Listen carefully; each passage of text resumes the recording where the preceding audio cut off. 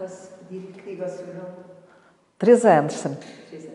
A primeira vez que eu vim a Serralves foi, de facto, muito especial, porque o Estado ainda não tinha comprado a propriedade, ainda residiam cá uh, o Alexandre Ferreira, o filho de Elfim e Silvia Ferreira, e havia algum conhecimento de família. Eu conhecia o meu pai e, e portanto, eu estava com muito receio, enquanto membro de uma comissão instaladora do então chamado Museu Nacional de Arte Moderna em Construção, acho que é assim que está registado em Diário da República, eh, como receber um parque sem fazer a transição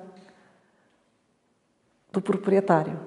E, portanto, eu tinha essa vontade muito grande, mas os proprietários não queriam que ninguém entrasse na propriedade antes da, da compra ser feita. Mas foi aberta essa exceção. E foi um domingo que vim cá com o Alexandre Ferreira e ele mostrou-me tudo. Mostrou-me a casa toda, contou-me histórias muito pessoais da família e, e mostrou-me a casa. A casa já estava vazia. Ainda me recordo que no chão, a certa altura, encontrei um saquinho de alfazema verde e tinha caído numa mala, uma coisa qualquer, e eu meti-o ao bolso. e meti-o ao bolso, mas ele mostrou-me a casa toda e levou-me ao cofre. E no cofre da casa estavam imensos desenhos, plantas de arquitetura e eu achei que eram da, da, da casa daqui. Depois não eram. Eram desenhos das, dos projetos de Elfim Ferreira em Lisboa, na Avenida Sidónio Pais. Muito interessantes, que aliás entreguei ao professor Alexandre Alves Costa da Faculdade de Arquitetura, mais tarde foram entregues a ele. E, portanto, devem estar no arquivo da Faculdade de Arquitetura atualmente. Portanto, eram projetos de Elfim Ferreira. E, portanto, tive esse privilégio de passear com ele no parque. Ele descreveu umas pessoas todas que trabalhavam no parque, eles tinham um, delegado, também chamado Delfim, que era afilhado do Sr. Delfim Ferreira, aliás, era o Sr. Delfim Soares, chamava-se ele. E, e eu fiquei depois com o contacto com, essa, com esse encarregado, com esse responsável. E, e, foi muito interessante porque uh, mais tarde os jardineiros contaram que tinham sabido que eu vinha cá. E, portanto, estava tudo naquela expectativa de, de quem era. Eu agora já não tenho bem preciso se foi nesse dia ou se foi depois no dia, acho que é o dia em que viemos todos, e que eu me lembro ainda hoje, os sapatos que trazia vestidos e uma capa de chuva, era inverno, e, e vim com os outros membros da Comissão Instaladora, já é depois desta visita uh, privada, digamos, com o Alexandre Ferreira. Uh, isso depois já é o dia em que vim com a Comissão Instaladora, portanto eu vou voltar atrás, vou voltar atrás essas memórias do, do Alexandre Ferreira. Uh, há um sítio muito particular onde ele quis me levar, que era um laranjal, que ele tinha plantado em memória do seu filho, que tinha morrido num terrível acidente de automóvel no Brasil. E o filho tinha-lhe dito pouco antes de morrer que gostava de ver um laranjal naquele sítio. Por acaso era um carvalhal, ele contou-me, tinha deitado abaixo os carvalhais para plantar o laranjal em memória do seu filho. O laranjal já, lá não está, mas as laranjeiras continuam encerradas. Mas fica sempre muito impressionada por isso, não é? E essa, essa transmissão dele, que não me conhecia de sítio nenhum, e se calhar me confiava algo mais sagrado da vida dele, não é? E, e quase que a pedir-me, não é? E eu, enfim, quando cá estive já mantive-se, mas depois foi, construído um museu e, enfim, tudo se transforma. Uh, mas, portanto, foi uma viagem, um percurso extraordinário, entrar nos quartos de banho. Lembro-me sempre da grade na casa e depois o percurso pelo parque. Eu nunca tinha entrado, eu só conhecia o parque de passar no autocarro, que era um autocarro dois andares, e de ver de cima, porque sabia-se que era uma propriedade muito protegida e inacessível. Eu tinha trabalhado no plano diretor do Porto, da cidade do Porto, e quis muito entrar na propriedade e não consegui. A Teresa uh, nasceu aqui no Porto? Eu nasci no Porto. E, que imagem é que foi tendo de Serraus até entrar aqui? Ai, tinha uma imagem extraordinária. Eu tinha uma tia que tinha um escritório nos anos 60, 70, uh, aqui na rua de Serraus e, e vinha com a minha mãe. Vinha, vinha com a minha mãe, vinhamos ao Porto, eu vivia na Granja, vinhamos ao Porto, e, e, às, e às vezes íamos visitar a tia Maria Eugénia, lá ao, ao escritório, e, e, a minha mãe passava e dizia: Isto é uma casa muito feia que está aqui. Quando passávamos à frente da casa de Serralves. E era esta imagem que eu tinha da minha mãe dizer que era uma casa muito feia. Pois houve um dia extraordinário aqui. Um, e o que é que passava para fora para além de ser uma casa feia? Não sei, eu não, eu não privava, não era propriamente. Sei que houve um dia extraordinário em que o, a Nureyev e a Margot Fontaine vieram ao Porto e soube-se no Porto que vieram a Serralves. Isto pode já estar um bocadinho misturado. E eles vieram a Serralves em visita privada, ou já não sei qual será a circunstância, mas haveria uma tenda e, por causa da tenda, as azáleas tinham precocemente florido.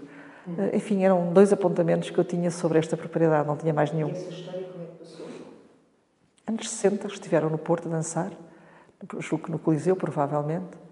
E eu não vi, não fui assistir ao espetáculo, era muito miúda, mas foi, uma, foi um grande acontecimento, a Margot Fontaine e o Nureyev virem ao Porto. É? Extraordinário. E virem a Serralves? Terão vindo, portanto, eu, eu poria terão vindo a Serralves, e porque estou isto de memória, que houve uma, uma coisa extraordinária, que tinham posto uma tenda e as azáleas floriram antes do tempo. Não faço ideia onde puseram a tenda, não faço ideia o que é que foi, mas se é verdade ou não é, é uma memória que eu tenho.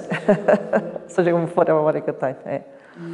Mas não tenho mais memórias, tenho que passar com a minha mãe e a minha mãe dizer isto é uma casa muito feia.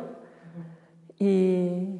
A Teresa fez a sua formação aqui? No Liceu Carolina Micaelias, nos anos 70, 60, 70. E depois como arquiteta? Depois fui estudar para o Instituto Superior de Agronomia. E depois voltou para aqui? Uh, não voltei bem, eu quando vim para Serralves estava a viver em Lisboa.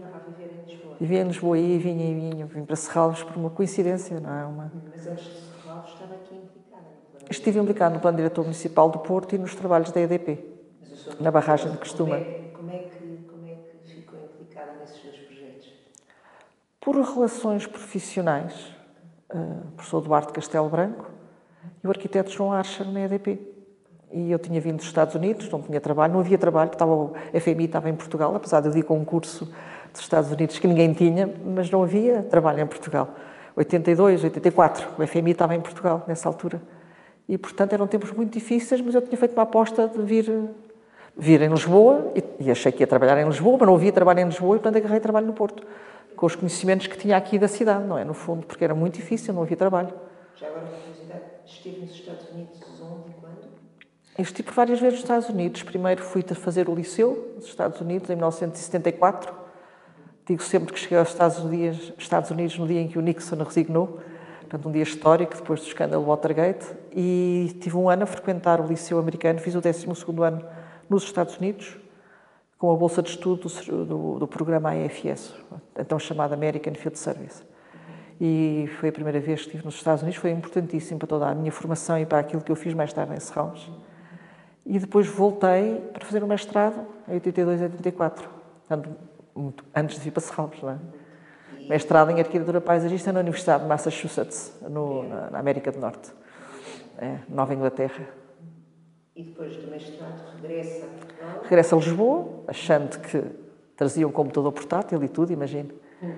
Portanto, achei que, ter trabalho, não havia. Não havia, não havia trabalho. Não mas Conhecia todos e a todos fui bater. Os Gonçalo Rivertelas, António Vieira Barreto, conhecia toda essa gente. Não havia, não era possível. Eram uns tempos muito difíceis, estamos antes da, da adesão à União Europeia, e, portanto, eh, tive que me agarrar. E, portanto, vinha Lisboa-Porto, Lisboa-Porto, Lisboa-Porto. Uh, mas também foi por essa ligação que eu tive ao Porto que era conhecida na cidade para me chamarem, não é? Portanto, eu estava a fazer os trabalhos da, barragem de Costuma, a recuperação da paisagem em Costuma, foi quando estavam a fazer a construção da barragem propriamente dita, estava implicada nesse trabalho e no plano diretor do Porto. Portanto, eram trabalhos com visibilidade e que, enfim, deu uma, uma, deu uma inserção na cidade extraordinária. Enfim, que fiquei sempre muito ligada por causa... Dei aulas na Cooperativa Árvore também. Dei aulas na Cooperativa Árvore. O, o, o plano diretor do Porto, na altura, eh, alguma, alguma relação fortíssima. Fortíssima. Eh, por isso eu tinha, queria vir ver, mas nunca consegui. Portanto, isto era conhecido como o Casal de Santa Maria. Havia processos em cima da mesa do professor Duarte Castelo Branco, em São Roque da Lameira, que era onde funcionava o Gabinete de Planeamento Urbanístico. Isto temos em 84, 85. Havia dossiês e dossiês do, do processo da Quinta de Santa Maria, que era assim chamado Serralves na altura. Porque era o nome que a família de Alfim Ferreira lhe deu. Havia uma imagem de Santa Maria na capela. E, portanto, eles chamavam-lhe a Quinta de Santa Maria. E, e, hum, era o nome que a, que a família dava. Uh, porque para a família Vizel era a Quinta de Lordelo. É? Serralves é o nome que eu propus. Mas uma coisa. Porquê que esses processos estavam todos em cima da mesa? Porque era uma propriedade grande e havia a intenção de urbanizar a propriedade. Para cima da mesa já com o propósito. Uh, eu, eu não me recordo do processo em si. Recordo-me que era. Eu sabia que era algo que eu via, não tínhamos as fotografias aéreas que temos hoje, mas já havia, e portanto eu estudava a cidade através de uma fotografia aérea dos anos 70 e esta propriedade aparecia muito evidente. Portanto, assim como me interessei pelas outras propriedades, pelas outras quintas do Porto, interessei-me por esta e conhecia praticamente todas. Algumas já desapareceram, já não existem, e esta nunca consegui entrar. Precisamente porque havia uma expectativa da família, já eram os herdeiros, portanto, isto era um grande património. Tínhamos vivido o PREC, eles tinham tido muitas ameaças para a ocupação da quinta, nos anos 70. Tinham. E, portanto, eles tinham cães ferozes cá dentro, os muros estavam todos, uh, tinham todos vidros em cima, uh, uh, estava armado o parque, porque havia essa, essa ameaça da ocupação. De locais? Estamos a seguir ao 25 de Abril. sei, ocupação- Mas eu tenho ideia que havia. Não, havia, mas eu não sei relacionar, eu não sei relacionar eh, o crescimento dos bairros clandestinos encostados aos muros de Serralves com essa ocupação. Não sei relacionar, julgo que são coisas, julgo que são coisas distintas. Julgo que são coisas distintas, mas não tenho essa história. Há alguma pressão política nessa altura? da Há, ocupação? há, há uma pressão política e, portanto, e, e o professor Duarte Castelo Branco era Presidente da Câmara, o Paulo Valada, e, e era Protagoniza, Paulo Valada. no sentido da ocupação. Ah, não, da não sei. Isso é anterior a eu conhecer Serralves, não é? E no sentido da urbanização. Isso mais tarde, eh, eu não me recordo, eu, nunca, eu lembro-me de ver os processos em cima da mesa, mas eu tenho ideia, o que se dizia era que o Boa Vista tinha pretensões a comprar, o clube de futebol do Boa Vista tinha pretensões de comprar a quinta. E até havia o cenário da urbanização desta parte do Mata 7 e manter o parque. Julgo que era isto que estava em cima da mesa, mas eu teria que investigar. A Fernanda é uma investigadora, uma historiadora, portanto sabe como a gente gosta de falar, mas isto é a memória que eu tenho do que se dizia. Não? É nós Podem ser pistas para fazer investigação, mas eu não posso. Não é só isso, outra coisa também é a percepção e a forma como condicionou depois as decisões, não é? Sim. E a verdade é que, de repente, quando falamos aqui do 25 de Abril, faz assim uma névoa mais ou menos estranha. Está por investigar. Hum, essa memória coletiva é uma coisa divertida, não é? Portanto, raras vezes conseguimos ter uma caracterização mais fina da protagonização, quer no sentido da ocupação, quer no sentido da urbanização, não é? E, portanto, parece uma coisa muito, com um grande secretismo, uma pressão no sentido da urbanização. A, coisa, a única coisa mais concreta que eu tenho até hoje é que seria, de facto, porventura, protagonizada. Porque é o Boa Vista Boa era a, era a ligação do, do, do Valentim Loureiro a, A ideia era urbanizar com que. Também já ouvi falar em estádio? Não. Não, isso não ouvi, não. Acho que era, que era esta parte, ser um condomínio, se calhar, ou qualquer coisa assim, ou não sei. Não sei, não, não sei, não sei. Na ótica da Câmara do Porto, é? Sim. sendo que, evidentemente, estamos num período ainda um bocadinho de crescimento na reflexão mais teórica sobre as questões dos, eh, dos planos diretores municipais, etc. Qual era a leitura que- existia e que a Teresa tinha relativamente ao que podia acontecer neste espaço? Ele foi, eh, eu trabalhei sobretudo eh, a estrutura ecológica, o verde contínuo da cidade do Porto. Foi uma das tarefas que me entregaram. E, e nesse processo eu sabia que para o, o desenhar eu tinha que me apoiar naquelas estruturas ordenadas, as chamadas quintas do Porto. Porque o Porto, embora se- sendo uma cidade muito pequena, era conhecido como uma cidade de quintas e isto extravasa os seus limites. Isto, isto aplica-se a Vila Nova de Gaia, à Maia, se calhar sobretudo Maia e Vila Nova de Gaia. E, e, portanto, era fundamental, porque eram estruturas grandes, como a Quinta da Perlada, eh, a Quinta de Vilar de Allan, enfim, várias quintas, e Serralves era a última quinta construída no Porto. Mas eu, na altura, não tinha a percepção disso, eu só me apercebi que esta é a última quinta de recreio construída no Porto, mais tarde, já quando venho para Serralves. Eh, tinha, Coutinho em 1980? 84, 85. Não era propriamente também assim tão comum, não é? Não era uma figura. A. Não, essa figura não existia ainda, havia já a Reserva Ecológica Nacional e, portanto, eu apoiei-me no conceito da Reserva Ecológica Nacional, mas com uma visão do património cultural também. Eh, E por freguesias ou por uniões de freguesias, por conjuntos de freguesias, melhor dito, eh, definia, em função das bacias hidrográficas do Porto, todas essas áreas que deviam ser preservadas. Eh, Eu trabalhei só dois anos e meio no Plano Diretor do Porto e Mas que inspiração é que trazia? Porque não havia propriamente grandes competências técnicas em Portugal nessas áreas. Tinha trabalhado nos Estados Unidos, tinha sido, eh, tinha sido aluna do professor Júlio Favos, também, enfim, venho de uma escola de arquitetura paisagista em Portugal, em que temos a figura da Caldeira Cabral, e Ribeiro Teles, e António Viana Barreto, e Líder Araújo, e, portanto, essa, no fundo, essa era, a nova, essa era a nossa formação. Claro que a REN não era bem um, a Reserva Ecológica Nacional, não era propriamente um conceito urbano, era mais fora da cidade. Mas eu agarrei-me a esse conceito para delinear a, uma, uma reserva ecológica nacional que seria uma estrutura verde. O que acontece é que uns anos mais tarde era ministro do planeamento Valente Oliveira, também foi um homem com um protagonismo importante em Serralves, e o Luís Valente Oliveira foi tomada a decisão porque Lisboa não tinha reserva ecológica nacional e ele veio um dia à Câmara Municipal de Porto anunciar que também é retirado essa condicionante à cidade de Porto e, portanto, toda a minha estrutura, toda a minha proposta de verde contínuo para a cidade do Porto ficou sem suporte legal. É uma dor que eu tenho na minha vida profissional. Mas é uma que eu tenho. Pois não, extensão Portanto, o, o verde contínuo da cidade acabou num conjunto de, de pontuado, de apontamentos, entre eles estava Serralves. eh, na ótica da Câmara do Porto, havia alguma orientação nesse sentido? Não, tinha, o, o professor Duarte Castelo Branco eh, tinha uma, desenvolvia um trabalho de equipa extraordinário, com uma confiança ilimitada nas pessoas que chamava para a sua equipa. assim.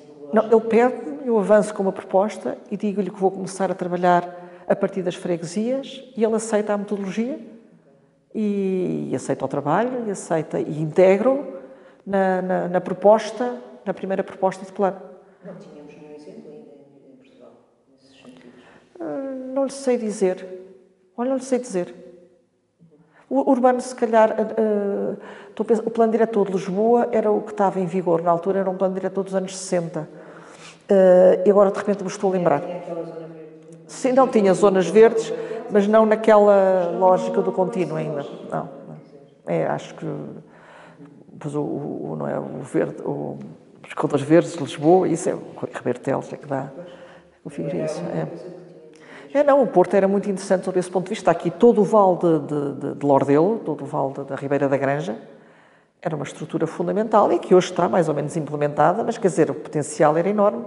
E claro que foi sendo urbanizada, deixou de, ter a força, não deixou de ser Reserva Ecológica Nacional, nunca chegou a ser, porque o plano não chegou a ser publicado, foi revisto e, portanto, foi limpo de Reserva Ecológica Nacional. É, são coisas que acontecem. É. Então, e- mas no seu, de qualquer das maneiras, no seu desenho, aqui o Casal Garcia era um ponto interessante. Sim, a Quinta de Santa Maria. O Casal de Santa Maria. Casal de Santa Maria, era assim que era chamado, Casal de Santa Maria. Ou Quinta de Santa Maria, apareciam as duas designações. Então, dois anos na- no, planeamento do Porto Sim, dois anos. e de repente como é que surge esta. Como, quando é que soube que iam fazer qualquer coisa com Serralves? Olha, eu tinha montado um ateliê em Lisboa, com, com a Cristina Castelo Branco, filha do professor Eduardo Castelo Branco. Tinha montado um ateliê com ela e tínhamos terminado uns projetos final do ano e é dia 2 de janeiro. Eh, imagino que eh, 88, 87, 88. E, e tínhamos os, estiradores, eram forrados a papel cenário. Eu tinha mudado o papel cenário, tínhamos acabado uns projetos, estava muito sujo, tinha mudado. Estava a varrer o, o, com a escova grande, exatamente, e toca ao telefone. Dois, primeiro telefonema do ano para o ateliê. E do outro lado dizem, vai falar a senhora secretária de Estado da Cultura. E eu digo, ah, isto é aquela, aquela, olha, isto é aquela Teresa Gouveia. Pus-me em pé, pus-me em pé no telefone, para atender o telefone a senhora secretária de da Cultura, Teresa Gouveia. E ela faz-me um convite para fazer parte da comissão instaladora. Eu fiquei, disse, olha, vou pensar, eu nem sabia, porque eu nunca cá tinha entrado, e disse-lhe, nunca entrei, não conheço. Mas, pronto, estou ao serviço, com certeza. E, e depois tivemos ali eh, dois meses antes da compra da propriedade a preparar-nos, a comissão instaladora, que era constituída pelo Fernando Pernes, professor Fernando Pernes, que era o homem que tinha começado o Museu de Arte Moderna uh, em, no Museu Soares dos Reis, e, portanto, era incontornável, uma vez que tinham destinado isto a ser o Museu Nacional de Arte Moderna aqui. O que é que a Teresa sabia da história antes do cinema da Teresa? Do, do Museu Soares dos Reis sabia pouco. Não, e daqui, de, que estava a acontecer aqui. Não sabia nada. Não sabia nada. Nessa altura já me tinha desligado o plano do Porto. Nessa altura já não estava ligado ao plano do Porto. E, já tinha ido dar aulas para o Instituto de Agronomia em Lisboa, portanto estava menos em Lisboa. Estava a conseguir aproximar-me, tinha ido trabalhar como assistente para o Instituto de Agronomia, não é? Portanto, depois aí a minha vida profissional mudou um bocadinho, abri ateliê e isso. E, portanto, uh, uh, não sabia nada.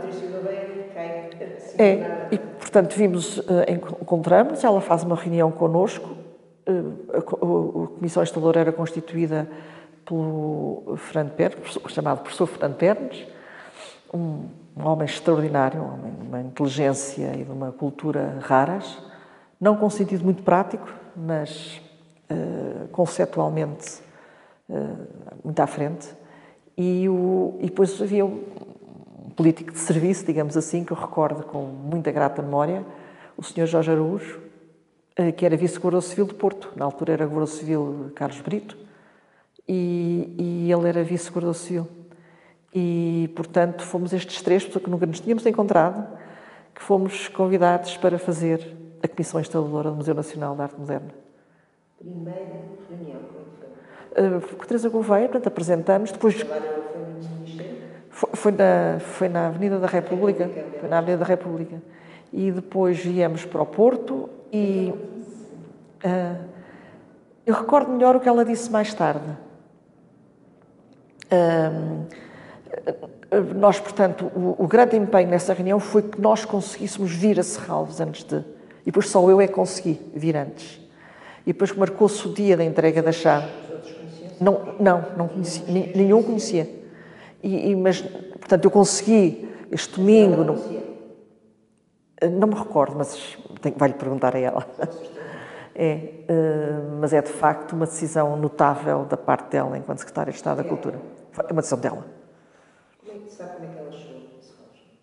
Eu, tem que ver com o Paulo Valada, tem que ver com. Uh, o João Marcos Pinto, não, nessa altura ainda. Ela é que vai depois chamar o João Marcos Pinto. Mas talvez, não sei, não sei. Mas ela saberá isso, não é? Eu era mesmo da Comissão Instaladora, eu tinha 29 anos, Fernanda. era uma miúda. E, portanto, estava aflitíssima se eu seria capaz de desempenhar aquelas funções. E para que era? Percebia que era para o parque, porque era arquiteta paisagista. Mas sabe que depois aquilo. A ideia era fazer o Museu Nacional de Arte Moderna, era uma descentralização, uma decisão governamental de fazer o Museu Nacional de Arte Moderna no Porto. Um gesto extraordinário. Incrível. Nos anos 80.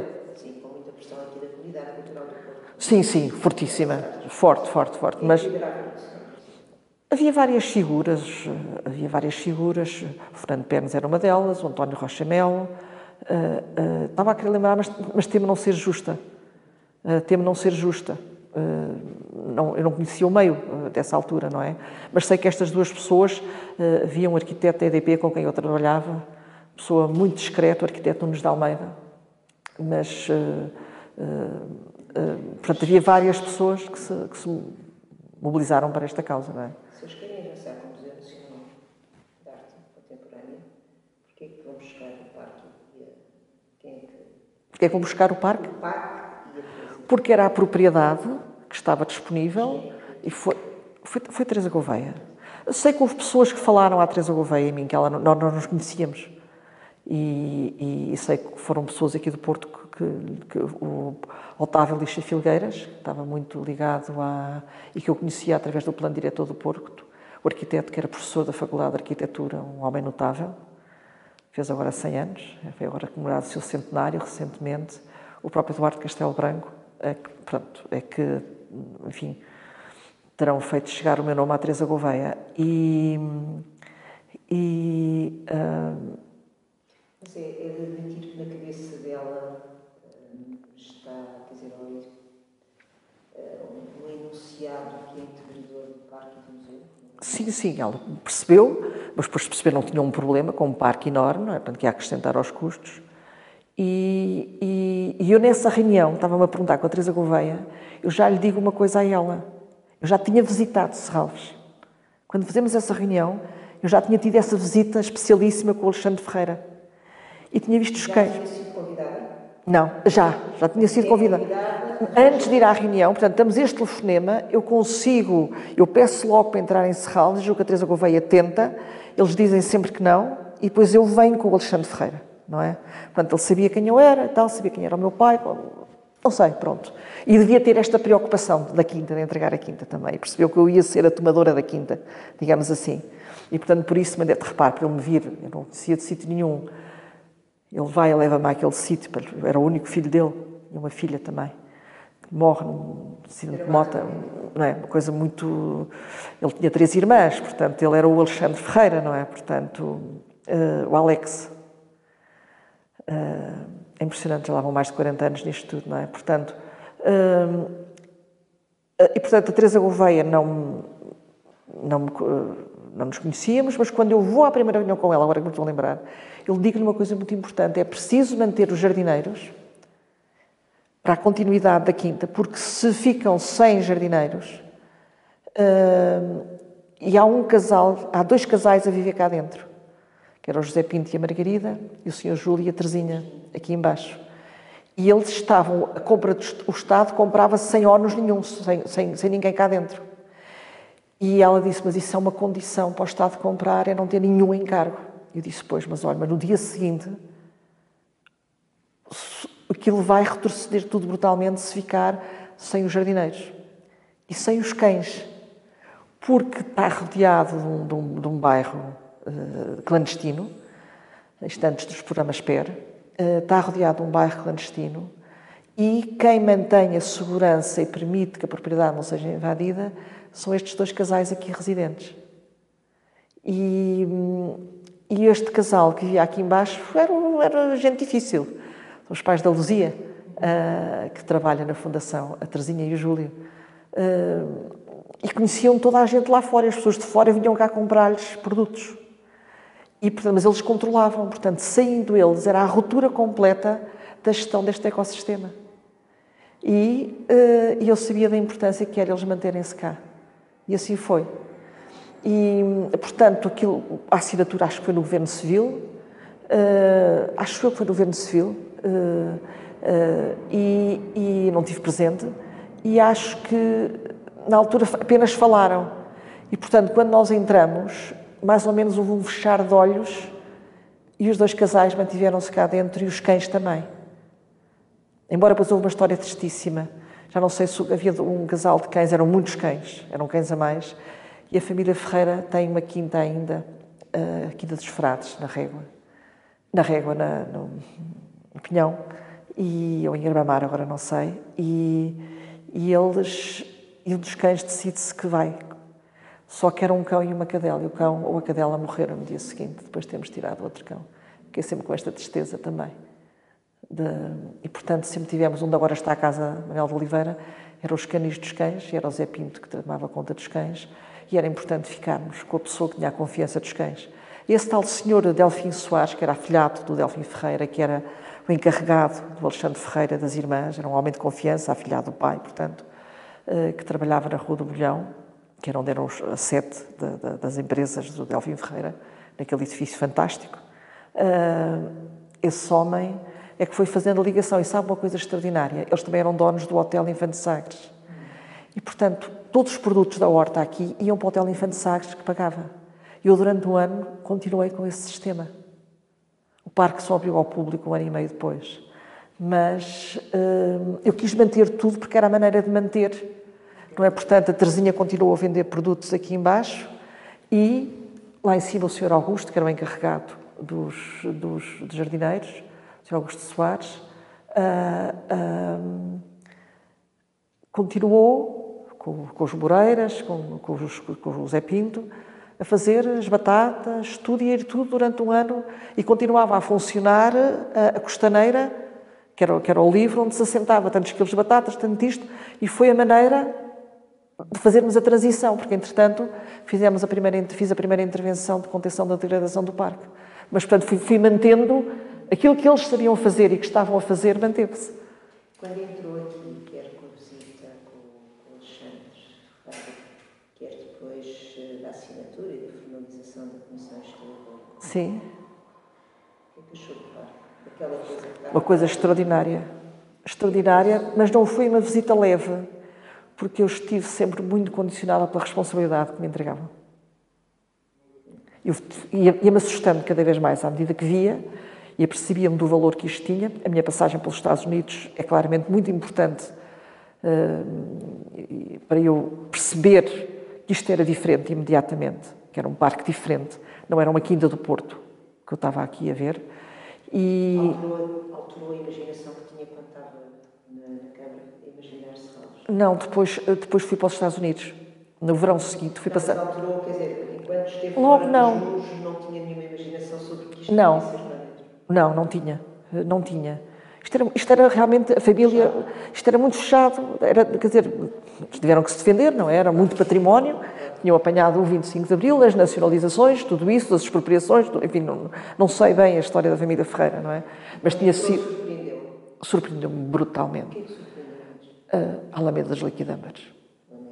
A Alameda das Liquidamas foi uma. uma- Era assim, era. era aquela parecia Alcobaça, não é? Já era uma coisa. Na altura não a percebi, não fiz essa comparação com a Alcobaça, faço-a posteriormente. Mas, eh, sim, foi sem dúvida nenhuma, por exemplo, quando fui para ali fora. eh, foi, foi impressionante. Eh, e depois fiquei muito marcada pelo encontro com o Laranjal, não é? Como pode imaginar. É onde está aquele pinheiro manso enorme, pinheiro que ainda está, era aí o Laranjal. Portanto, junto ao museu. Portanto, depois foi o projeto Gomes da Silva que, que alterou todo, todo esse espaço, não é?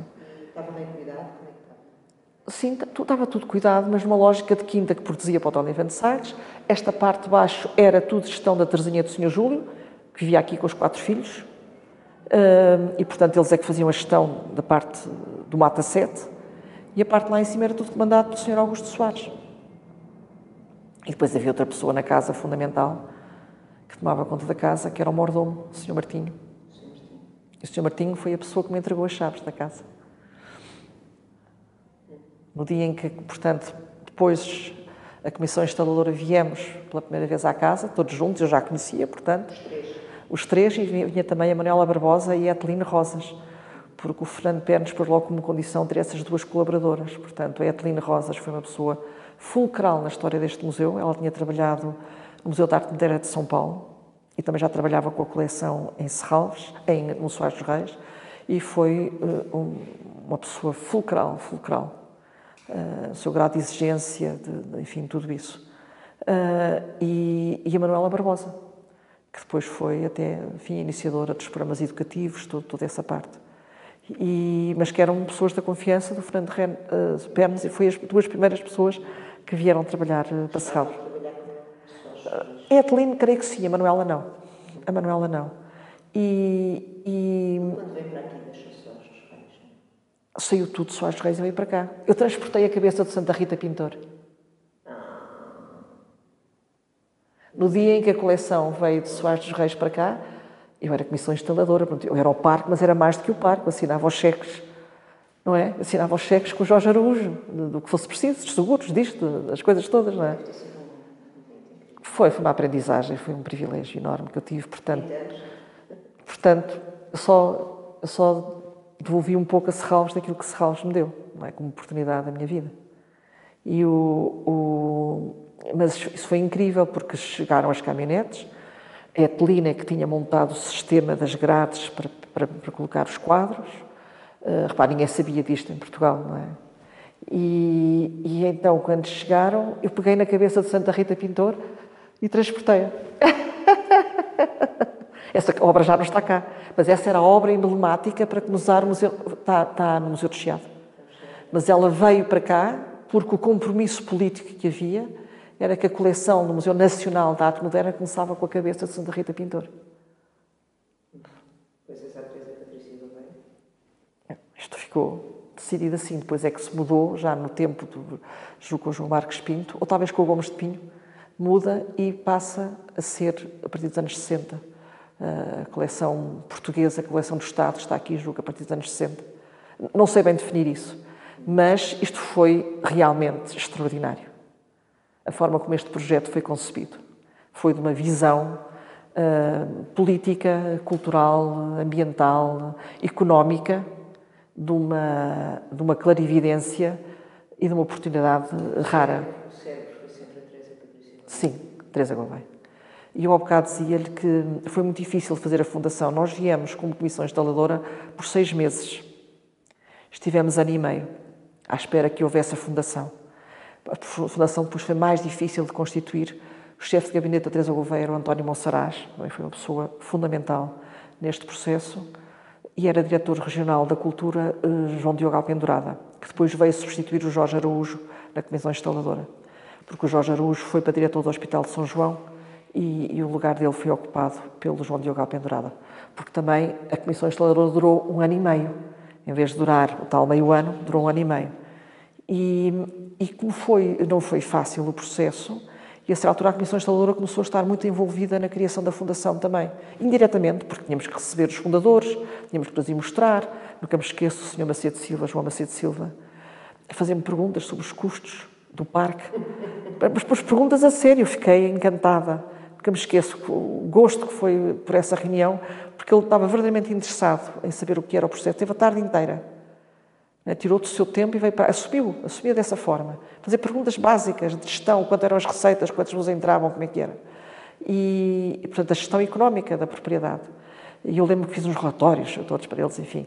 Uh, e o, o, o, houve um dia que o Fernando Guedes, da Sograp, convidou todos os potenciais mecenas industriais aqui do Norte, sobretudo, mas do país todo,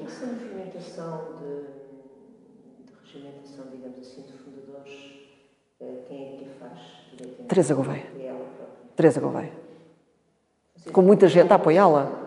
Pronto, e o João Marcos Pinto aí tem um papel, eles julgo que eles eram amigos de longa data, portanto ele tem um papel uh, fundamental, uh, sempre discreto, mas uh, também sabia o que andava, não é? Discreto, sim.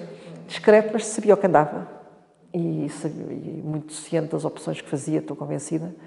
Aconselhava-se muito. António Rocha Mel era uma pessoa para ele de sua grande confiança e grande conselheiro. Uh, o, o, uh, mas eu estava a contar, na honra de Azevedo, que era propriedade da Sograp, uh, Fernando Guedes e a Fernando e a Mafalda Guedes recebem todos os potenciais empresários, mecenas, para, para a constituição da fundação, os fundadores.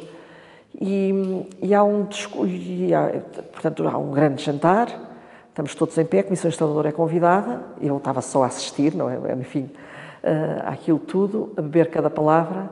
Quem fez o discurso conceptual foi o Luís Santos Ferro, da Fundação Luso-Americana para o Desenvolvimento, e, e, depois a Teresa Gouveia falou, Fernando Guedes falou, Teresa Gouveia falou, não sei se mais alguém falou, mas a Teresa Gouveia disse uma frase estrutural de todo este projeto que eu retive sempre, que este era um projeto que, se, que, o, que o governo pretendia fazer para juntar a criatividade dos artistas e dos empresários. Eu achei isto uma coisa extraordinária, Fernanda. Eu me tinha lembrado de tal coisa. Uh, portanto, potenciar criatividades. Os empresários, vocês são muito criativos, os artistas são muito criativos e, portanto, esta junção de criatividade trará uma nova criatividade que precisamos. E, e por isso é que eu digo que isto tem tudo uma visão extraordinária. Mesmo a coragem de comprar uma quinta com 18 hectares no meio de uma cidade, é, naquela altura. Ela, naquela altura, também teve ali uma opção muito difícil entre, entre no Algarve uh, e Tibães. E comprou para o governo português Tibães. Foi outro gesto extraordinário da parte dela.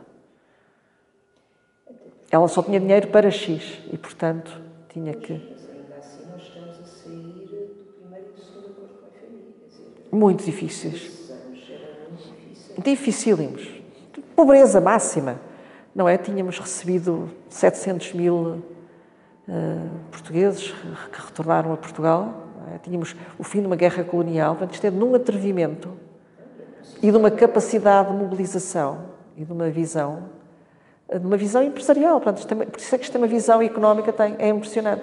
Eu acho que, se, enfim, se, se, estes movimentos fundacionais são assim, mas perdeu-se se calhar muita coisa, mas, uh, mas foi extraordinário. Eu lembro-me, eu estou a ver, estou-nos a ver uh, todos, não é, em, em, em, na honra da Azevedo, em Barcelos.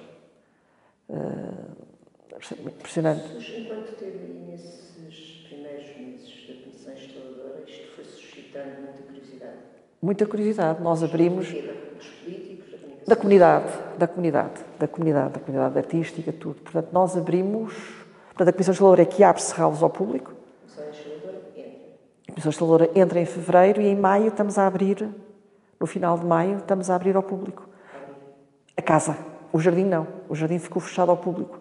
Continuávamos a fazer batatas para o Hotel Infante Sagres, estávamos a fazer a transição, a transição de uma casa vazia, sem móveis, não é a mesma coisa que a transição. Abriu a casa ao público para apresentar as primeiras exposições. Foram as primeiras exposições, havia uma, foi uma exposição, uh, não foi logo a exposição da Vieira da Silva, foi, era uma exposição muito bonita sobre Viena, sobre Viena de 1900. Uh, olha, já não me lembro, curioso, já não me lembro das exposições da casa, foi uma inauguração com o Primeiro-Ministro, Cavaco Silva, Fui eu que organizei o, o, fui eu que organizei o cocktail. Imagino, o meu atrevimento. Tinha que fazer tudo. Tinha que fazer tudo, tínhamos que fazer tudo. Criar seguros, criar a segurança, ensinar a, ensinar a empresa de segurança. Abriu-se nesse dia, são não sei quantos de maio, que se abriu ao público, e no dia seguinte, era sábado ou era domingo, não sei, eu estava cá às nove da manhã a receber os seguranças, para lhes dizer como é que era, o que é que tinham que fazer.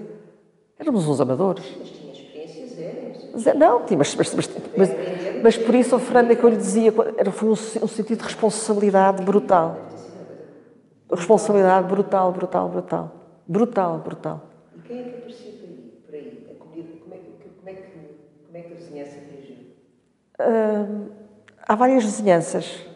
Para mim, a vizinhança mais extraordinária são as escolas, porque há duas escolas encostadas a Serralves. Uma escola pública, a Escola Leonardo de Coimbra, e a Escola Francesa. E um dia a, a Escola Leonardo de Coimbra, os alunos, sabiam que esta hora era do Estado e lembraram-se, a hora do recreio, de entrar para dentro da quinta, pelo muro. Estava fechada, mas o muro era muito baixo, tinha os vidros por cima, mas nós tínhamos partido os vidros, porque não era possível o Estado ter uma propriedade com vidros. Era proibido por lei, mas de qualquer maneira. E, portanto, embora toda a gente tivesse contra mim, eu tinha mandado os jardineiros partir os vidros, porque se acontecesse alguma coisa era muito grave. Quando era privado era uma coisa. Uh, e à noite as pessoas sabiam que os cães estavam ao sul e os cães eram ferozes, ferozes, ferozes. Uh, e os cães de baixo não se misturavam com os cães de cima. Portanto, estava completamente ritualizado. E, o, e eles, crianças, entraram. Mas, ó oh, Fernanda... A monte? A monte. Eu não lhe vou dizer centenas, mas eram dezenas e dezenas, eram duas centenas pai de crianças. Invadiram. Invadiram o parque. A quinta. É muito bom. Invadiram o... Eu estava cá. Eu podia não estar, mas estava cá. E começam-me a chamar, e eu vou, e eu tenho uma reação um bocadinho estranha, porque digo aos jardineiros: trago as enxadas, mas não é para bater, mas trago as enxadas, que era para, para lhes dar alguma, não é? Homens armados, trago as enxadas, mas cuidado com elas, não é para bater em ninguém. E, e vamos, e os miúdos já estão todos no lago, imagine. E o, o, lago não tinha proteção, se os miúdos caíam ao lago, o que é que podia acontecer? E, e os miúdos eram, davam todos pelo queixo, eram todos mais baixos que eu. Eu vi um pau, agarrei o pau e, e depois, agora baralho, e tal. Eles lá se calaram. E eu disse: O que é que vocês querem? E, tal, ah, tal. e começam: Olha, a mulher do Conde, a mulher do Conde. Eu não percebi o que era a mulher do Conde. Sabe o que era a mulher do Conde? É porque isto era a quinta do Conde para eles. O Conde Vizela. Era a quinta do Conde, que era como era conhecida. Por isso é que há muitos públicos. E, portanto, eu era a mulher do Conde. Eu senti-me condessa por dois segundos na minha vida, sendo a mulher do Conde. E, e, e portanto, eu era a mulher da Quinta do Conde, não é? Portanto. E, e eu uh, uh, digo, vocês vêm todos atrás de mim. E pedi aos jardineiros, vou, vou abrir... Hã? Estamos a falar de miúdos convidados? De 10, 11, 12 anos. E vinham com professores? Não, saltam os professores. Não havia telemóveis, não é nada, não é? Eles vêm sozinhos, saltam o muro e, e, e, vão para o lago. Eu vou ter com eles ao lago e com os jardineiros e mando um para ali, outro para ali, outro para ali, outro para ali, outro para ali. E, e eu, eu pego nesse pau e digo, mas vamos fazer uma coisa. O que é que vocês querem? Querem uma festa, o que vocês querem, querem ficar um dia de festa. E tinha estado o Mário Soares e o Juan Carlos de Espanha, tinham vindo a Serralves. Fazer o quê? Nesse princípio. Há fotografias disso. era a comissão instaladora, não era ainda a fundação. E vieram visitar, o Juan Carlos veio a Portugal e veio ao Porto e Serralves começou a ser um sítio incontornável de receber toda a gente. Já estava a casa aberta? Já, já estava a casa aberta. Mas o Soares já tinha vindo cá. Não me recordo se era a primeira vez que ele veio, não sei. Não sei se era. Juan Carlos era de certeza a primeira vez que veio. E eu disse para eles: Vocês sabem o portão por onde entrou Mário Soares e o rei de Espanha? Foi por aquele portão de Gomes da Costa. Vocês não entram pelo muro, vocês têm que entrar pelo portão do Presidente da República e dos Reis. É por esse portão que vocês vão entrar. Vamos ter uma festa. Eu não sabia o que estava a dizer. Mas vamos pedir à vossa professora se ela deixa. Vocês vêm comigo. Então vamos fazer assim. E pus os miúdos a bater palmas e a dizer: Queremos festa! Queremos festa! E então subi, saí pela rua fora, a rua de Lordelo, os jardineiros, uns à frente, outros atrás, a fechar, e fui entrar no portão da escola. E quando entro na escola está os professores todos à porta da escola a verem-me, os miúdos, queremos festa, queremos festa. E eu, senhora professora Maria do Carmo Vareta, já, já os conhecia, autoriza a que a gente faça uma festa, então vamos combinar um dia e eu vim-me embora com o compromisso, foi uma festa para os miúdos em Serralves. Foi assim que nasceram os espantalhos. Os espantalhos nasceu disto. Eu tinha que fazer uma festa, tinha que cumprir a minha promessa com os miúdos, depois fomos chamar, fui a Leonardo de Coimbra, a escola francesa, o, o, e o outro, qual foi a quarta escola? Não foi o Garcia, uh, Aldoar. Há uma quarta escola também, Torrinha, Torrinha, escola francesa, uh, Leonardo de Coimbra, e como é que não me lembro da quarta escola agora? E uma quarta escola? Mas como é que, como é que se lembrou dos espantalhos? Olha a América. América. Tinha comprado um livrinho na América chamado Sequer Krause, que era uma maravilha, fotografias de espantalhos. E, e depois fiquei sempre muito ligada a esse livro, Sequer Krause. E, e achei que era a Terezinha, havia aqui a Terezinha, o Sr. Júlio, havia aqui este ambiente rural, e era preciso deslocalizar, porque o meu gabinete era na casa.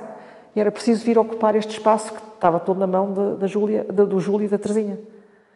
E, e, portanto, eles não precisavam deste espaço todo para viver. Começamos, a, olha, este espaço foi dos primeiros que nós, que eles libertaram para nós, depois libertaram o celeiro, eles tinham de ter libertado tudo isto no dia em que o Estado comprou.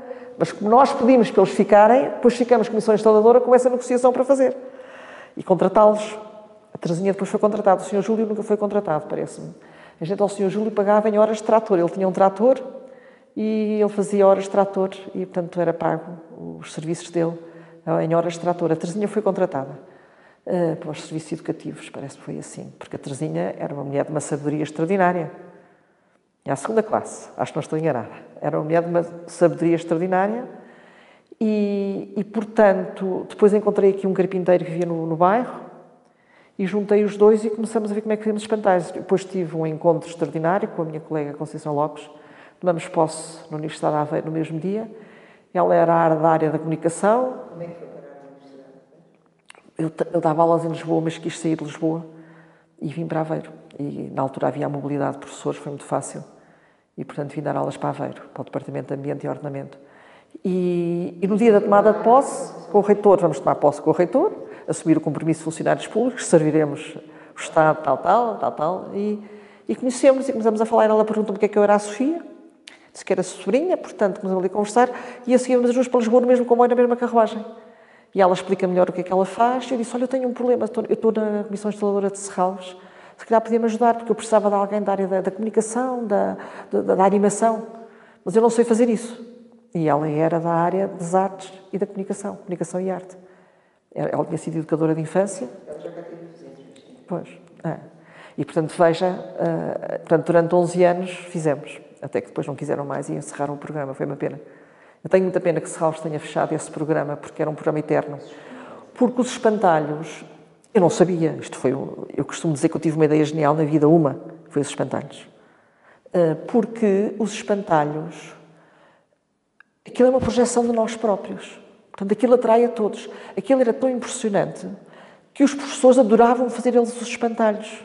E a gente depois percebia, a Conceição e eu punhamos aqui, depois a Teresa Marques também tem aqui um papel muito importante, e a Maria Marques da Guiar, a Isabel Keller, a Terezinha sempre, uh, uh, colocamos e a gente diz, olha, este é feito pelos professores, este, não, este é feito pelos alunos.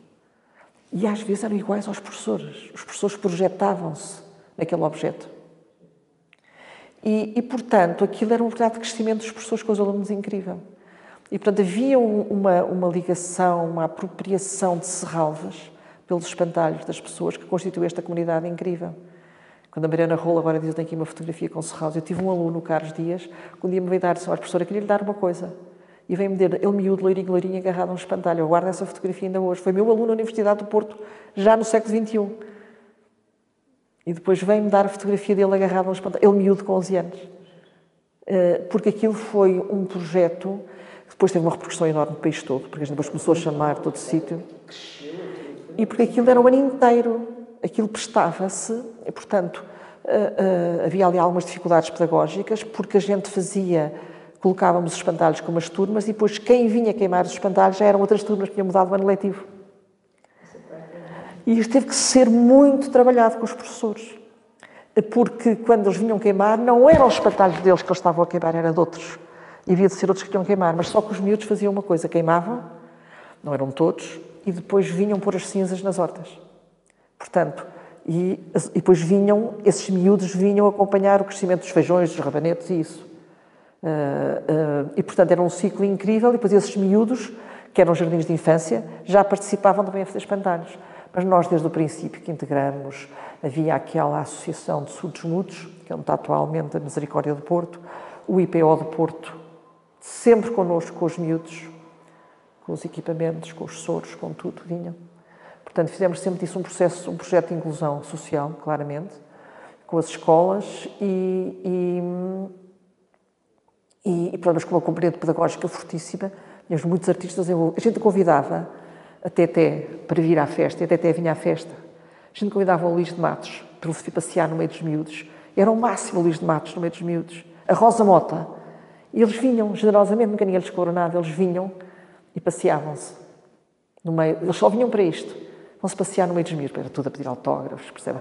Então a Teté foi um sucesso, depois subiam ao palco Luís de Matos. Eu estou, pronto, estou a lembrar destes três agora e não estarei a ser justo para tantos que colaboraram e que generosamente, espantosamente vinham. Uh,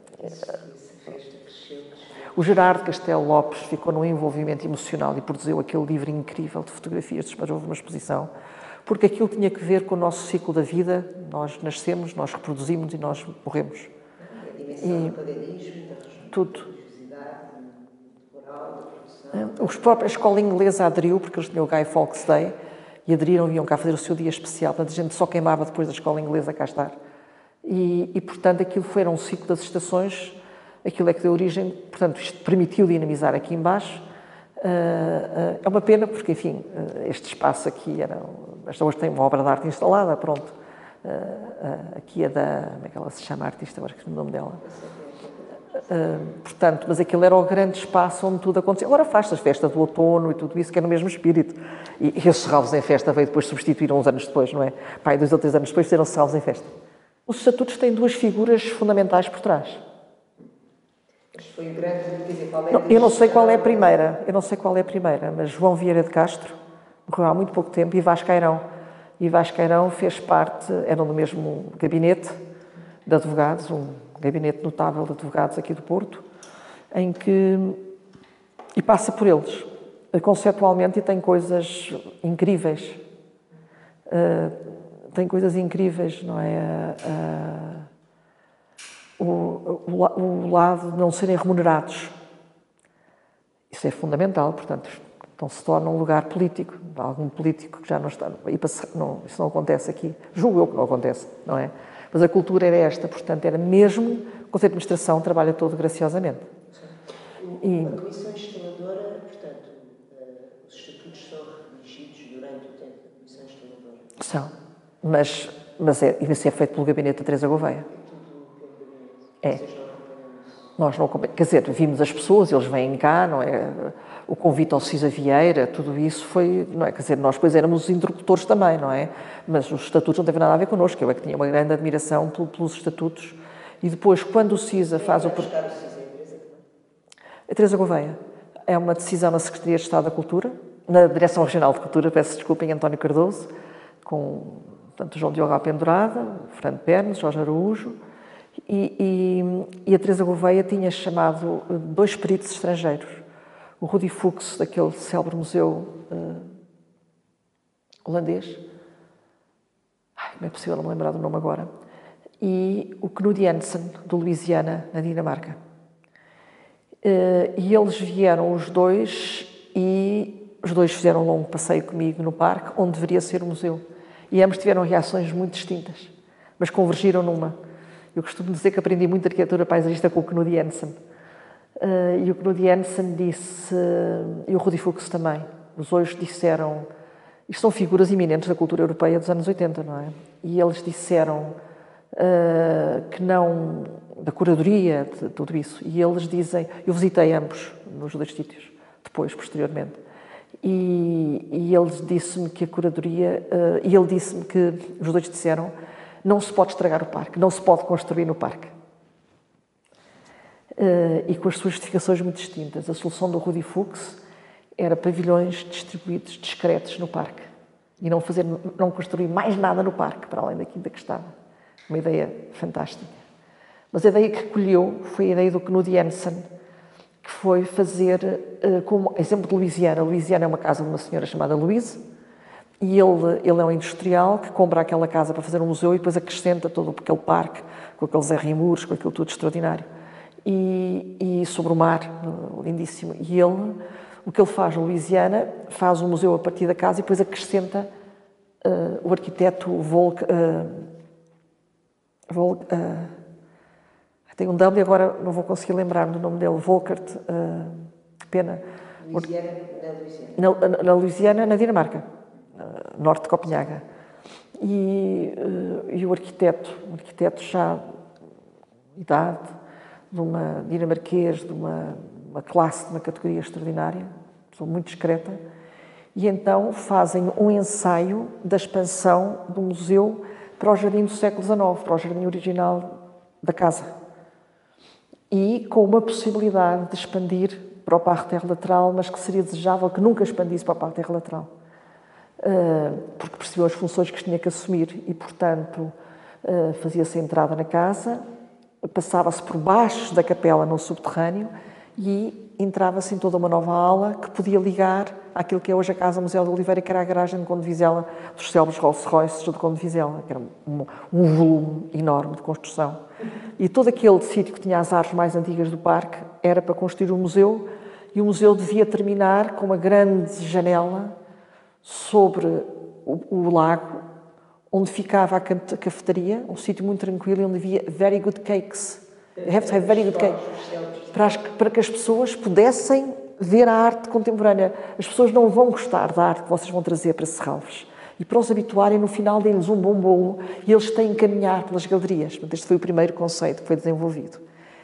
Uh, depois, quem era o arquiteto foi uma decisão da Teresa Gouveia, todos concordamos, que era o Cisa Vieira que se chamava. Eu sou a pessoa que mostra a casa à Cisa Vieira, a casa e o parque, que lhe explica a intenção e a encomenda do projeto, o meu atrevimento e a minha ingenuidade. E vou-lhe dizer, olha, se arquiteto em construir aqui, é aqui que vai construir. Veja o meu atrevimento, dizer, olha, quer ver onde é que ele tinha que construir, mesmo ingênua.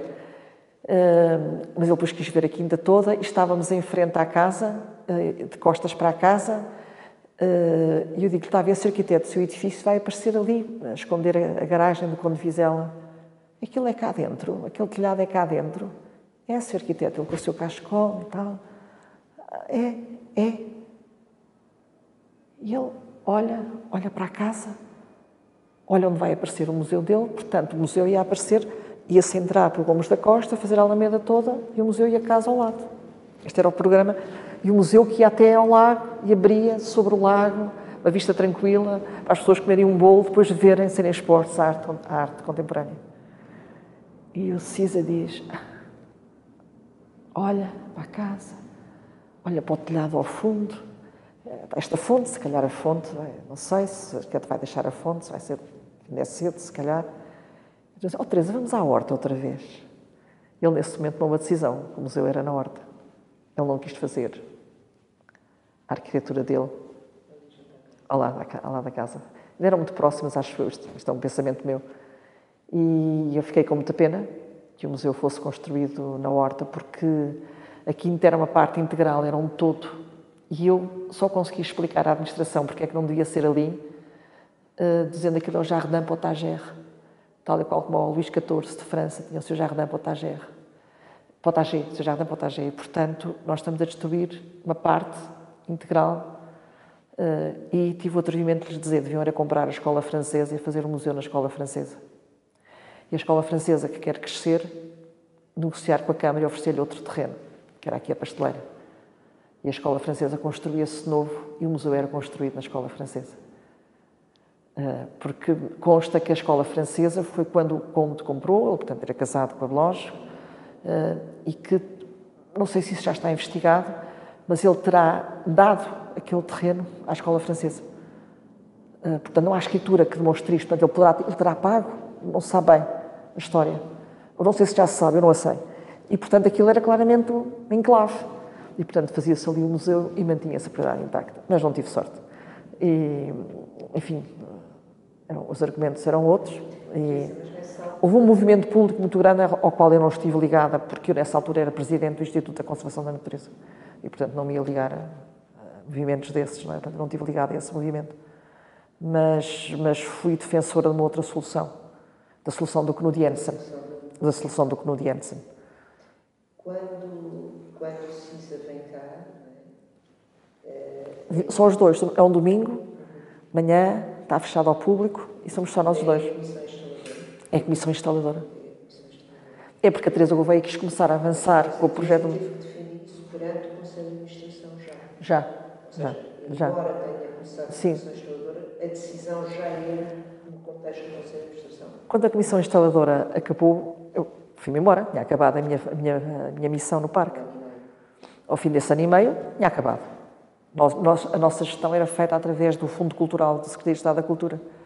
E, portanto, eu entreguei os relatórios, entreguei tudo, uns dossiês com as fotografias todas, do, já estavam, já havia os espantalhos a funcionar, tudo isso.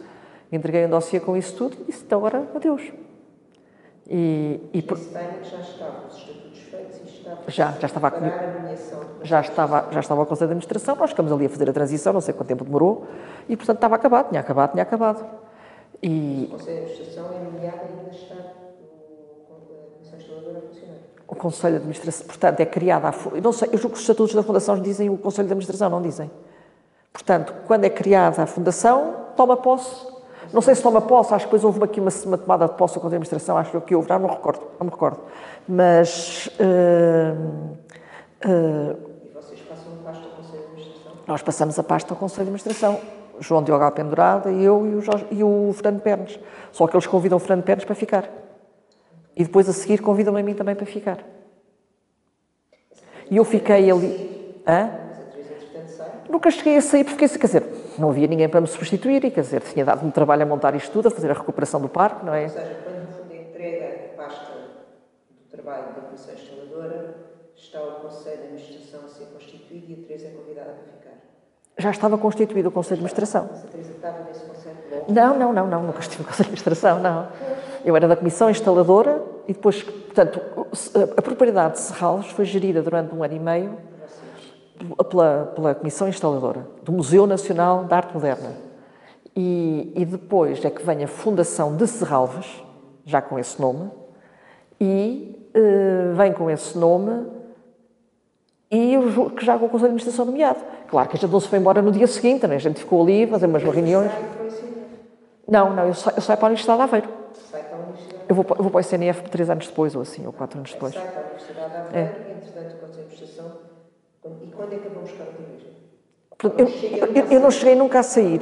Eu fiquei primeiro numa espécie de assessoria ao Conselho de Administração, mas depois o Conselho de Administração entendeu contratar uma diretora-geral, um diretor-geral, Aliás, eu cheguei a concorrer a esse lugar também, embora eu não o quisesse, eh, porque a minha vida não era essa, a minha vida era na universidade, portanto não dava, mas eu cheguei a concorrer a esse lugar e, e concorri para poder dizer umas coisas ao Conselho de Administração. Fui um bocadinho.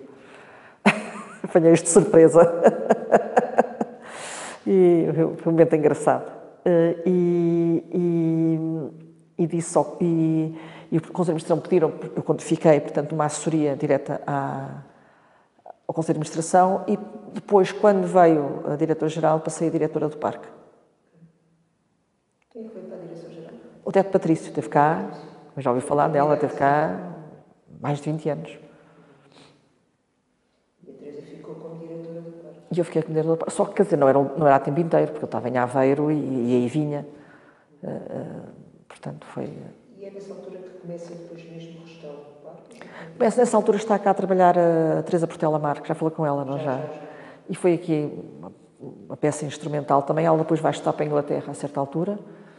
E, e a Teresa, eh, a Teresa comigo, eh, eh, enfim, fizemos um, todo, toda a primeira intervenção do parque, porque repara, a família de Alvin Ferreira tinha feito uma piscina no meio do Jardim Central. Uma das fontes tinha sido transformada em. Portanto, tudo isso foi revertido, fizemos quartos de, para poder abrir ao, ao, público, não havia quartos de banho, construímos os quartos de banho no, no, no, no, no campo de ténis, uh, a horta estava a funcionar, estava tudo. Portanto, foi preciso fazer. A horta deixou de, fornecer o Hotel Infante Sagres uh, e passou a ser hortas pedagógicas, também nessa altura, uh, o Laranjal, tudo isso. É. Então, já após, já, já na sua vigência como diretora? Não, começou, eu comecei logo, logo, que comecei logo a fazer o plano de gestão. Não, não fiz logo, ainda a comissão instaladora, fiz o plano de gestão para o parque. E depois a Teresa Marques tinha sido minha aluna em Lisboa e ela veio para o Porto, que era já uma distinta aluna e de muita qualidade, e, e, e fui e convidei ela a vir fazer o estágio aqui. Ela fez o estágio aqui em Serralves comigo. Pois é, é. A outra questão não tem nada a ver, eh, mas achei piada, eh, tem a ver com os good cakes. Eh, com os? Com os, com os good cakes. Ah, um good cake no final, é. Essa estratégia é uma estratégia germinal, digamos assim, no fundo, quer dizer, de usar o parque também como introdução e uma, uma introdução para, para, para, para, para Sem dúvida nenhuma, eu logo, depois, de, naquela, naquelas primeiras reuniões com a Teresa Gouveia, que não foram muitas, porque ela delegava imenso, ela não, pois não interferia, deixava a gente, uh, muito interessante, uma forma de trabalhar, primeiro um bocadinho, então, quer dizer, é evidente que a Secretária de Estado não estava disponível para responder olha, e agora abrimos aquela porta ou fechamos aquela? Não é? Quer dizer, a gente era a Comissão Instaladora, tivemos que aprender, os três tivemos que nos entender, não é? Não havia ninguém, não é? Quem presidia era o, era o Vice-Governador Civil, ele é que presidia, ele era o representante do Estado aqui, não é? Depois é que passou a ser o João Diogo Alpendurada e, e João, enfim, o Fernando Pernes e o Jorge Arujo já morreram há anos largos. João Diogo Alpendurada não, ainda, ainda também pode testemunhar esta, porque ele era o diretor regional de cultura. Uh, e, e, e, portanto, uh, uh, agora perdi-me que eu estava a dizer da. de. De... Ah, e logo nessa altura, claro que lhe falo: olha, é preciso meter no orçamento dinheiro para, para alimentar os cães e para o veterinário, não sei o que, ficaram todos a rir para mim. Então o Fernando Pernes ficava, o Fernando Pernes ficava pernido assim: não, não, o que é que acha, Sr. Professor? Perguntava-lhe assim: o quê? Ai, oh, Sr. Professor, somos três, nós temos que decidir tudo, também tenho que perguntar quem é com esta Vieira da Silva. foi muito engraçada a comissão, foi, foram uns tempos incríveis, incríveis. Um, uh, e, e, e, depois, uh, uh, eu logo comecei a falar, isto é um lugar de exceção para a, para a conciliação da arte e da natureza. Logo, percebi a oportunidade que isto era. Depois daquela criatividade dos empresários, daquilo tudo, arte e natureza. E, portanto, acho que essa matriz ficou. Essa matriz é fundacional. É fundacional. É transversal, é fundacional, é transversal. Isso, vem desde aí. Isso vem desde aí, vem desde aí, vem desde aí essa, essa ideia da arte. Portanto, os espantalhos foram mídia para isso por excelência, não é? Porque toda a gente vinha, toda a gente vinha. Assim, de balanço como, como diretora do parque, este restauro foi, ao mesmo tempo, um restauro incrível, não é? Quer dizer, é, é certo que é sempre uma espécie de never story, mas, eh, mas foi incrível pegar neste, neste parque, não é? Porque, apesar de todo um legado de 70 anos, 80 anos, quando, a Teresa é. É? é também grande. O parque tinha 60 anos, os liquidambres tinham 60 anos, tinham o dobro da minha idade. Uh, e, e, portanto, uh, havia outras árvores mais antigas. Tinham... Qual era a sua visão? Hã? Qual era a sua visão? Podia ter feito tudo. Percebi que era, que era preciso recuperar. Aliás, nesta sala instalei um centro, um centro de arte de jardins. Depois a administração não quis. Queriam outro, não queriam esse percurso, não queriam assumir mais um encargo. Mas eu instalei aqui com livros, com projetos fundacionais do restauro de jardins históricos. Eu atualmente presido a Associação Portuguesa de Jardins Históricos. Sim. E tudo isso começou aqui em Serralves. Serralves foi uma escola de jardinagem. É que houve há aqui outra pessoa importante, que era um grande amigo, é um grande amigo da Teresa Gouveia, António Lamas, que era diretor-geral do Património Cultural. Está aqui toda uma convergência de pessoas que se encontram. Eu conhecia, eu conhecia João António Lamas aqui, em Serralves. Foi a Gouveia que me apresentou. E, e o António Lamas, uh, diretor-geral do Património Cultural, na altura havia uns programas de, de formação, muitos programas de Fundo Social Europeu. E, e ele, na Direção-Geral do Património, com, com a Isabel Henriques, uh, criou uh, vários cursos de formação de jardineiros. E fizemos sede aqui em Serralves. Na altura, era secretária-geral da Associação Portuguesa dos Arquitetos Paisagistas e fizemos um protocolo com o professor Caldeira Cabral ainda, e eh, a partir de Serralves começamos o restauro em Tibães, o restauro de Monserrate, o restauro do Mosteiro dos Jerónimos, o restauro do Jardim Botânico da Ajuda, o restauro da Casa de Ramalde e o restauro do Jardim Botânico do Porto. Três estagiários arquitetos paisagistas de Évora e de Lisboa, em Lisboa, e três aqui a norte, e fazíamos alfobos de plantas que iam para os vários sítios. Eu levava no meu carro os alfobos de plantas aqui feitos para começar a repor esses seis lugares que entraram nesse, nesse projeto de recuperação de jardins históricos, que tinha por base os custos de formação do Fundo Social Europeu, a formação de jardineiros. E, e, isso tudo foi feito a partir daqui, com o Sr. Augusto, e, e assim começamos o restauro destes seis lugares de Portugal com a Associação Portuguesa de Arquitetos Paisagistas, a partir daqui, nessa altura. A gente, quando é novo, tem muita energia, realmente estou impressionada, mas havia tempo para isto tudo. A filha do Sr. Augusto contava-nos maravilha desses cursos, mas também das experiências com os jovens que vinham cá. É. Depois eu metia OTJs, naquela altura havia ocupação de tempos jovens no verão, e eles é que faziam a segurança do parque. Não havia, não havia empresa de segurança. E nós formávamos OTJs. E a sua visão do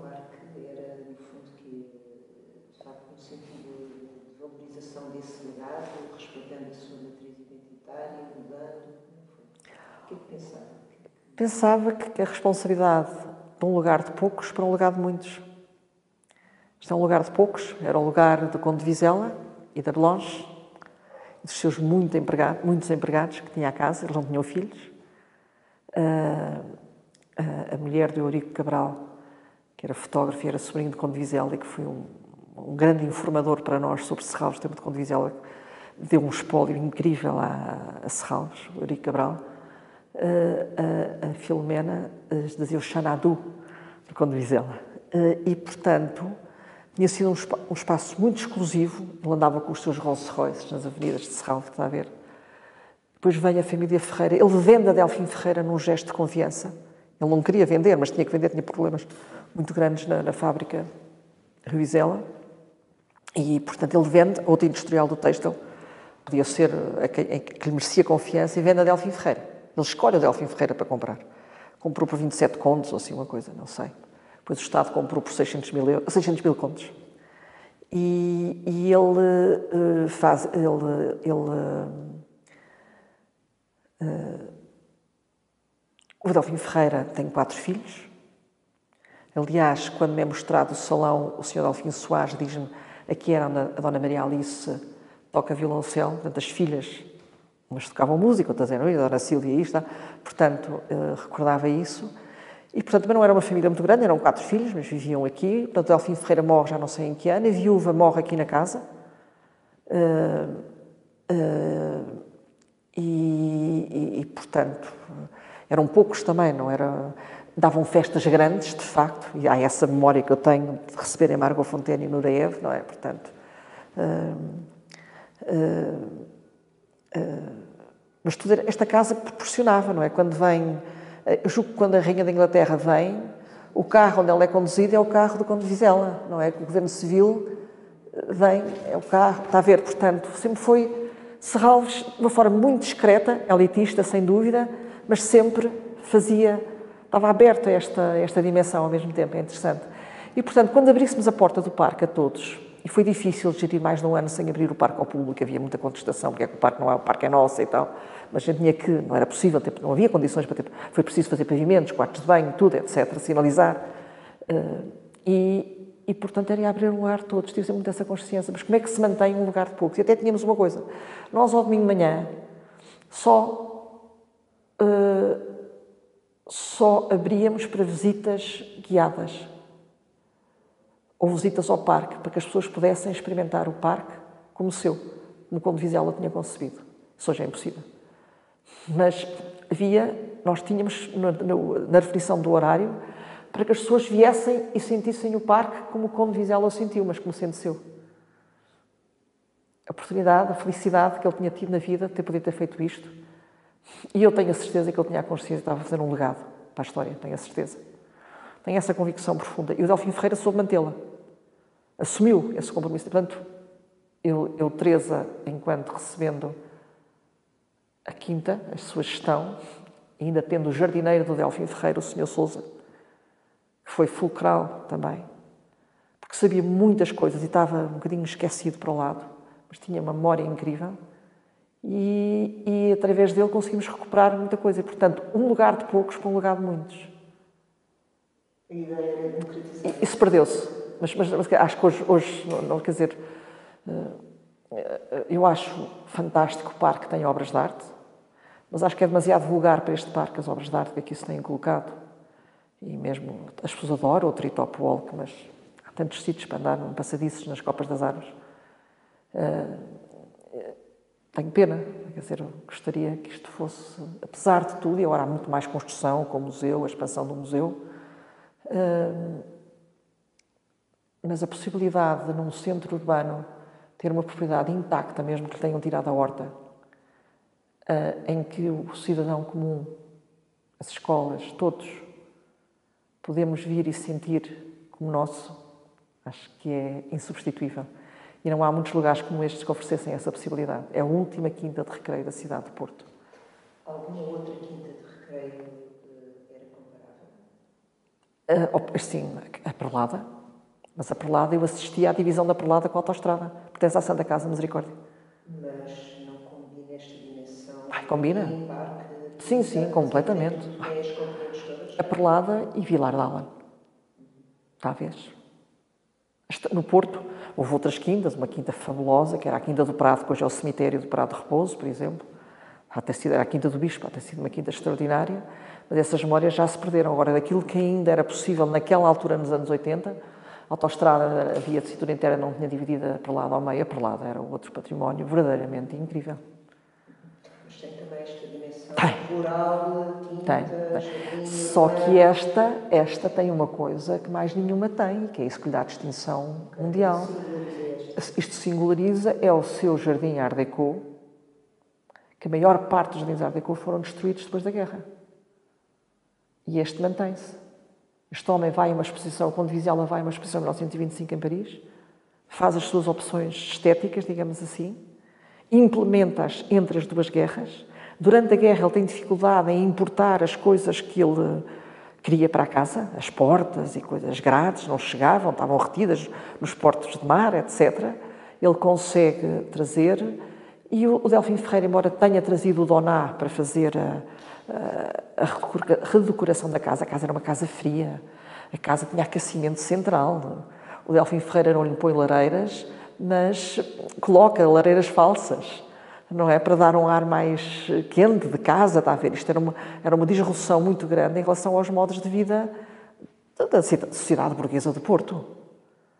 Portanto, era muito à frente e, portanto, e, e, e o seu jardim foi muito à frente também já feito um período um bocadinho tardio, salvo e chega intacto até nós hoje. E por isso é que a gestão, o parque tem que ser gerido, mas permanentemente o projeto de recuperação e restauro nunca pode ser abandonado num sítio como este, se queremos manter o espírito do lugar, se não o queremos perder. E é uma pena perdê-lo. Consegue comparar Serralves no plano internacional com alguma coisa?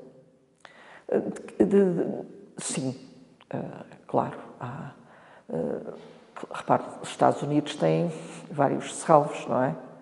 Eh, não com esta carga, que eu conheça, não com esta carga das artes decorativas. Por exemplo, Os jardins de Longwood Gardens são construídos pelaquela família Dupont do Wilmington, eh, no Delaware. Tem tudo a ver com isto e todo esse, os jardins californianos também. Portanto, há, aqui, há uma cultura americana porque o Jacques Reber tinha de fazer esses jardins na América. Só que os jardins do Jacques Reber na América estão destruídos, são urbanizações. A maioria. E os jardins, jardins privados. E, e, portanto, havia essa dimensão. Uh, uh, portanto, eu estou a falar da modernidade, e em particular das artes decorativas. é muito raro, é muito singular ter chegado intacto desta forma. O Greber fez o Jardim Botânico de Montreal, por exemplo. E a gente chega ao Jardim Botânico de Montreal e se lhe disser, olha, isto é Jardim do Greber, e se conhecer Serralves percebe que é. Percebe que é a linguagem. É uma, uma obra mais tardia dele, dos anos 50, julgo eu. Uh, uh, ele era arquiteto e urbanista, não é? O, o, é. E na sua, na sua vivência aqui em Serralves, tem, teve, foi vivendo contactos internacionais? Ai, sim. Relativamente aqui à excepcionalidade Sim, sim, na altura. O parque tinha um conselho consultivo com duas personalidades notáveis eh, estrangeiras, que era a professora Carmen Agnon, de Madrid, talvez ainda é viva hoje, já com muita idade, mas é talvez a maior expert internacional. Europeia, seguramente que é, da arte de jardins e do restauro, e o professor John Martin, que era um professor inglês, uh, professor americano nos Estados Unidos. E vinha uma vez por ano e dava-nos essa consultoria uh, e ajudava-nos a fazer a projetar o parque e a afirmar essa diferença, essa singularidade do parque. Portanto, para termos vozes internacionais, quer dizer, quem era eu para dizer que isto era singular? Alcançou-se essa voz no plano internacional? Alcançou-se, alcançou-se e manteve-se, porque repara, houve várias fases de restauro do parque. Com a Teresa Marques fizemos, eu fiz a primeira fase com a Teresa Marques, a segunda Marques fez a segunda fase, e depois houve um novo projeto de restauro que foi liderado pela professora Aurora Carapinha e, e pela Cláudia Taborda e, pelo, e depois pelo Vítor Beira-Mar Diniz. Foi uma segunda intervenção que fizeram. Ah, anteriormente fez o Gomes da Silva o projeto do museu. É? E depois eu voltei para Serralves anos depois. Era, era professora da Faculdade de Ciências e diretor do Jardim Botânico. Convidaram para vir, vim, vim graciosamente a pedido do, do, do, do, presidente Gomes de Pinho. E depois ainda voltei já a convite da, da, Ana Pinho, quando houve aqui uma fase difícil de transição, e, e ainda voltei. Portanto, eu tive aqui duas vezes à frente, tive três vezes à frente do parque, três momentos diferentes. mas eh, portanto, o parque já tem tido vários restauros. Agora, acho que há muita manutenção, mas há pouco recuperação, pouco restauro. E os dois processos deviam. E Serralves notabilizou-se por isso. Por exemplo, a Fundação Benetton Itália logo compreendeu o lugar de Serralves e, e até vieram a Portugal. O prémio Benetton teve para ser dado a Serralves, mas foi dado a, a Tibães. Foi muito bem dado o júri decidiu, mas tiveram ali grandes hesitações nos anos 80. Uh, Tibães é premiado nos anos 80 pela Fundação Benetton, o restauro, o processo em curso em, em, e o lugar, e o lugar. E a hesitação foi ali e Serralves, e depois foi para Tibães. E foi bem, porque Serralves tinha mais oportunidades de ter prémios. É uma comunidade muito mais concentrada na valorização de jardim do que propriamente de parque urbano. Qual? Esta? Não, jardins históricos restaurar jardins históricos. Uh, porque, isto não é o Parque da Cidade. O Parque da Cidade também já é um jardim histórico hoje, não é? Mas não é fazer um parque para o público. Isto é uma quinta privada rodeada de muros. Chegaram a querer deitar abaixo os muros das Serralves para, para o público. É? Infelizmente, a administração nunca permitiu isso, não é? Uh, Devia-se fazer a ligação com a perlada, com certeza, mas isso há outras formas de o fazer.